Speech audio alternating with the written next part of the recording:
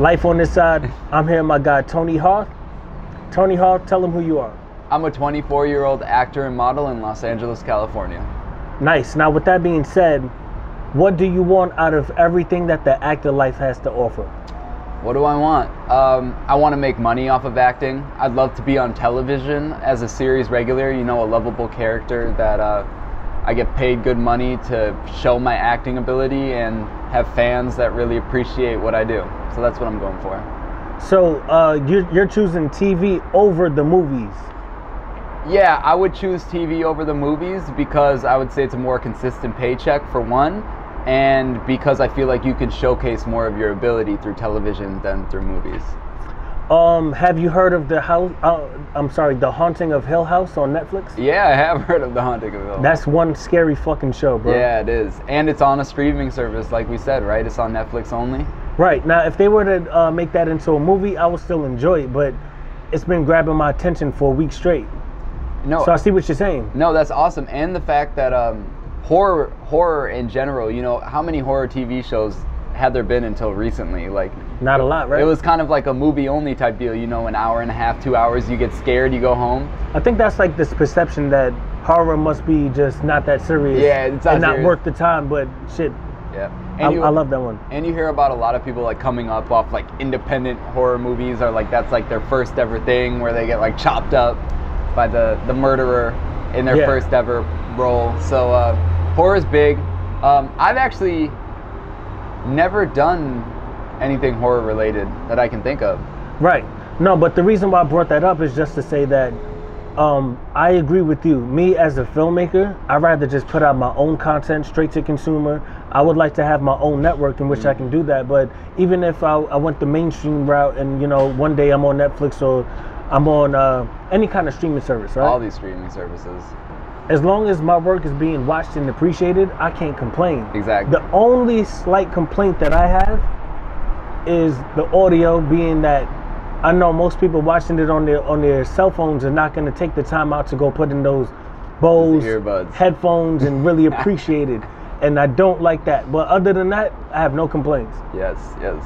A lot of people they uh, they feel like you know Hollywood is slipping away or some shit like that, but they're wrong. No, you hear that all the time, and it kind of brings us to that conversation about like television versus movies, and about how a lot of big name actors are going more towards television because it gives more of an ability to tell a story and to show your range and to show that you can play a character for four, five, six seasons. You know, Right. Like, like this new Apple TV show has like Steve Carell and.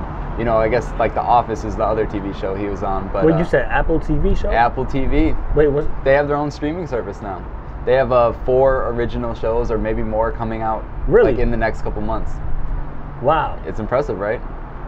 Well, we're shooting this on March 28th, 2019. 2019. So if this comes out later and I'm looking stupid because the word already got out. and I actually have a friend who I work with. Um, his name's Sean, and he just had a scene with Steve Carell in the new Apple TV TV show.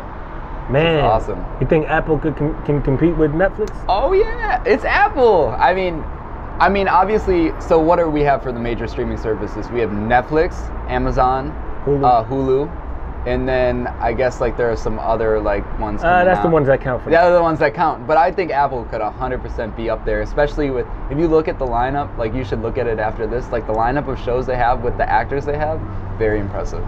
Mm, amazing. Um, are you looking forward to? Uh, wait, have you seen Us? Yeah, I saw us. How'd you feel about it? I, I loved it. Um, man, I was. It's funny because I didn't think it was like that scary. Yeah, But uh, that shit was creepy as my fuck. my girlfriend Vanessa, she was straight shivering, like she couldn't Yeah. even leave the the room after. Right. Very impressive though. Um, Jordan Peele. Um, we were kind of talking about this previously. He's coming out with a new Twilight Zone, a reboot on CBS All Access, which is another streaming service. oh shit. Yeah, and I was a big uh, uh, Twilight Zone fan growing up. My parents used to watch it all the time, and I love the twists and like the whole style, the whole setup, and having like Jordan Peele as the as our host, as our Rod Sterling. So it's gonna Nice. be really, really awesome, man. I'm I'm waiting for that. Amazing, amazing. Uh, what's a perfect day for you? Just when you're not working. when I'm not working, A perfect day for me right now would be to work. Ah, there we go. Isn't that the struggling actor Amazing. answer right there? But um, man, a perfect day for me is just getting out in Los Angeles. Like, I don't know if the audience can see how beautiful it is up here, but um, man, this you you won't find this anywhere else. That's for sure. Let me work on this. Yeah. Okay, there we go. We got this nice view right here. Yeah, we got a amazing. So I guess a perfect day for me would be hitting the beach, uh, driving around Hollywood, West Hollywood, uh, getting some good food. The food out here is endless and Yeah. beyond tasty, as you know, obviously. Yeah, man. Yeah. Uh, what year was that that you guys all went out to Palm Springs? that was, man, it was like the beginning. No, was it last year? I don't know. Two years ago, I think. Might have been 2017. Yeah, right? it feels like a long time ago. I've only been out here two years, but um, Palm Springs, that would be a perfect day for me. But we gotta wait till June, July when it's like 115 degrees. Yeah, yeah, That's yeah. when you have to hit Palm Springs, and Yeah. we gotta go to Palm. You went to Palm Springs also, didn't you? Yeah, I went there last uh, last August. And you had a great time, right? It was amazing, but this time I think I'm just gonna do like Laguna Beach or something. Yeah, Laguna Beach. But Palm Springs is there's something unique about the the way The it humidity in the and air. the humidity. And the yeah, it looks like it's like straight out of like the 1950s, like 1960s. You know. It's some of the best mangoes I've ever had in my life.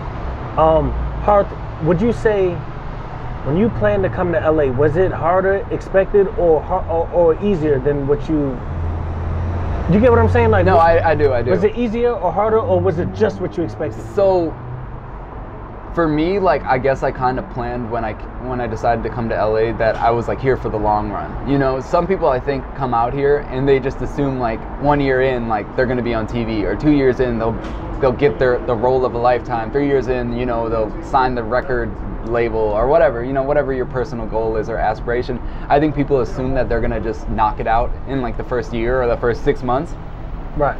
But something for me that I realized, like from very early on, from being in college, was that if I moved out here, I was gonna be out here, you know, until I made it. And I knew that, I knew that acting success, unless you're the best actor in the world or the best looking actor in the world, doesn't come instantly. Right. So I knew I was gonna be in for a grind. So in that regard, I would say that it was exactly what I was expecting.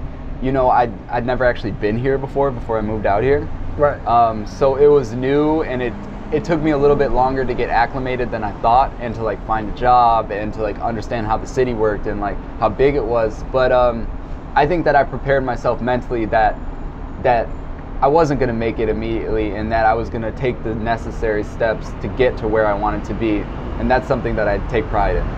Right. So you have actors that invest in themselves, in Mhm. themselves. Like, for example, and I know you have uh, you have experience with this as well, right? Where you just put up a budget, shoot your own web series or shoot your own film, put it out there, make a name for yourself. Very right? familiar with that. Then you have the other route, which is the traditional route of going to uh, auditions and going to and like trying to get Oh. an agent. And manager and everything like that. I know you're managed and you have an agent, right? Yes. Okay. So is your agency the one managing you, or do you have two? Uh, so I'm signed commercially for print, for modeling, and like theatrically, I guess, which is TV and film, to Maverick Artist Agency, and they take care of me in terms of like getting me auditions for pretty much anything. But Mhm. what my manager does, uh, Brent, uh, with Creative Artist Management, he kind of like guides my career. So he'll get me auditions also kind of like an agent would, but he, if I my materials aren't up to date or like if I have clips or I need clips, he'll kind of be the one that to tell me like Tony, like you need more dramatic clips like I was telling you earlier or Yeah. like Tony, you need to like update your resume or Tony, we need to get you on this or that or like your look is more suited towards this. So he kind of gives me the advice Yeah. where the agent kind of just gets me the auditions. They don't give me advice, you know. Do you think that it's possible to do it without the manager and agent, or do you have to have them? It is possible to do it without the manager and agent. So I booked I booked my first commercial without a manager or an agent. I just Oh yeah, Wh- which commercial was that? uh, that was for Lithia Auto Parts. It was Nice. I popped out of a hot tub. oh yeah, I sh- remember that one. Shook two people's hand and I got paid like two thousand dollars for it. And um, Amazing. amazing, I know, for one day of work. And um, I booked that all on my own. But if you talk to a lot of up and coming TV stars or whatever, people who regularly book on TV, they'll tell you that it's not necessarily the agent that'll get you the job, but it's your connections with the casting directors. So you could take a whole bunch of workshops with casting associates and casting directors, and they won't book you off that, but they'll remember you and bring you in. And I think that you you don't need an agent or a manager to book stuff with casting directors. As long as they know you, they know you can act, and you fit the role, I think you have a good shot. Nice, nice. Okay. Yeah. what what would you say is the biggest obstacle of booking A booking or commercials acting or auditions, just everything, just overall as an actor? I think the biggest obstacle is just being patient when it's not going fast. Um, that's something I always struggle with. Is like I'm looking at my email like Monday through Friday, like can I get an audition? Like da da da da, Yeah. and it really stresses me out that it doesn't happen as fast as you want it to.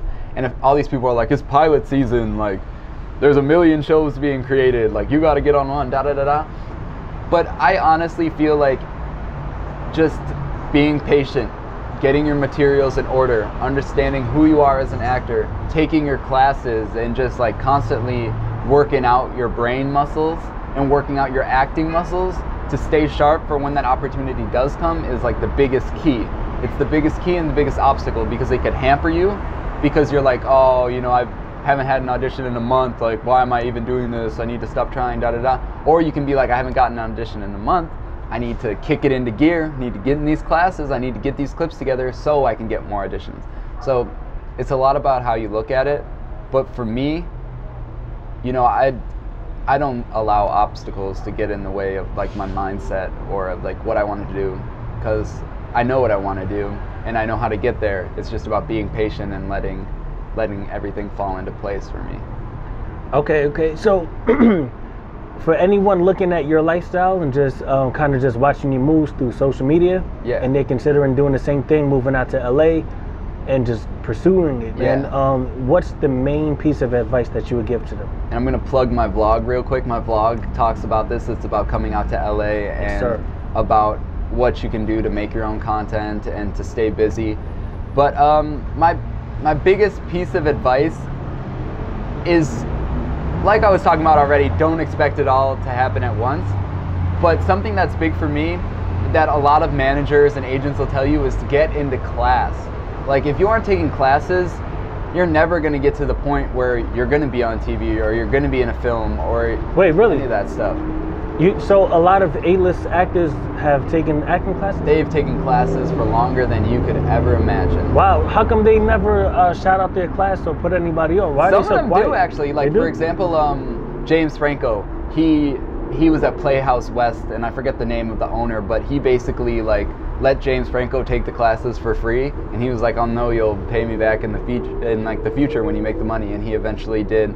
So there are a lot of big studios, and they'll actually like one of their biggest marketing tools is shouting out the actors who are successful, you know, who made it through their acting. So um, maybe just because you're not a part of like the actor community, so you don't see it as much. Mhm. But um, there are places that like Jennifer Lawrence trained here, or like, you know, for example, Groundlings, which is the big improv uh, place here in Los Angeles. Like they had like Will Ferrell, you know, and they're always like Will Ferrell went here, you know, da da da da. Take Groundlings because Will Ferrell, you know, so you know, taking classes is big and you know, it's like if you want to go to the NBA, right? You wouldn't go to the NBA if you never dribbled the ball before. Right. You never took a jump shot before. No one ever taught you how to do a crossover.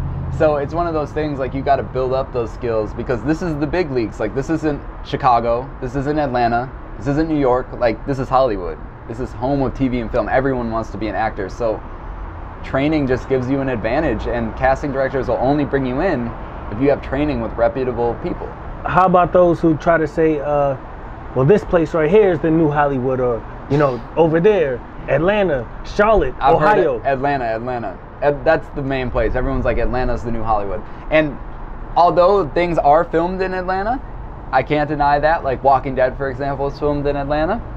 Um, it's not. Come on, guys. Like, let's be honest. Like, Yeah. look around you. Like, this is Hollywood. Like, every place has something to do with entertainment or acting. Like, there are these studios that are billion dollar studios that have a hundred sound stages. Like, fake neighborhoods. Like, you don't find that in Atlanta, you know? Right. So, to someone who says that, I mean, sometimes I even wish I'm like, oh man, like if I was in like Chicago, I would kill it. You know, a small market where I can just like be the big fish. But being the big fish doesn't being the big fish in a small pond doesn't do it for me. I'd rather eat slowly, eat the little kelp slowly and Yep, get bigger yep. and bigger in the ocean, you know, until the point where I'm I'm a big whale, as they say. Absolutely, man. Harth, thank you for coming through. Of we'll talk to you again soon. Yeah, thanks so much.